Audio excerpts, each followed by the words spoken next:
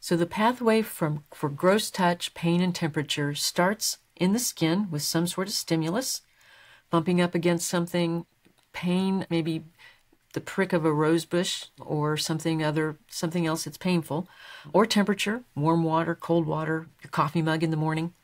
That is relayed via the dorsal root ganglion neuron into the spinal cord.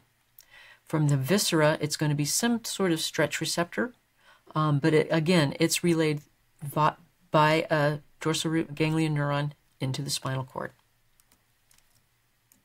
The second neuron in the chain is an interneuron that lives in the dorsal horn. So the, the first neuron's out here, second neuron is in here. It receives information from that primary sensory neuron. Now, what's important about this second neuron is that its axon crosses the midline right here and then turns to go towards the brain. So, neuron number two is a relay neuron. It crosses the midline. This area is known as the ventral white commissure.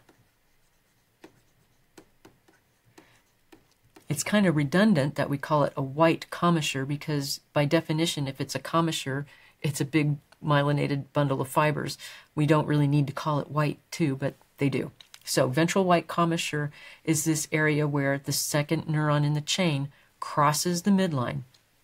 It then joins all of the rest of the fibers that are carrying this modality, which we have already called the anterolateral system.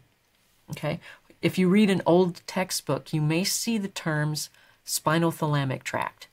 Um, and that is the old terminology for the anterolateral system. In the next slide,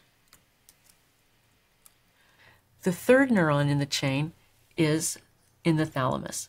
The thalamic neuron, or the neuron in the thalamus, projects to primary sensory cortex, which is in your post-central gyrus. This is where pain or gross uh, pain, gross touch, and temperature come to uh, perception. This is where you actually quote unquote feel it.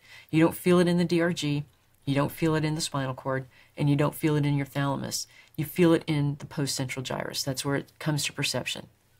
In the next couple of slides, we'll go through this entire pathway from start to finish in a couple of different formats um, to help you solidify it.